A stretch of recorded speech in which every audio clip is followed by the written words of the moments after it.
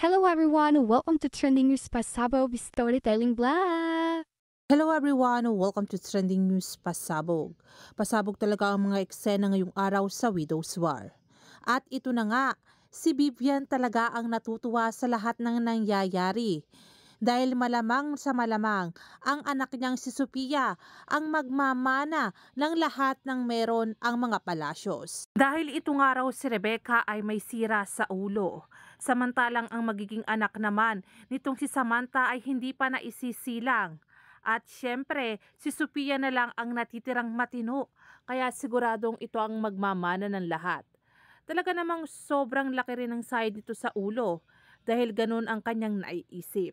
Sa kabilang banda naman, nasa palaban ira na nga itong si Samantha dahil hindi siya makakapayag na makuha ni Aurora ang kanyang magiging anak.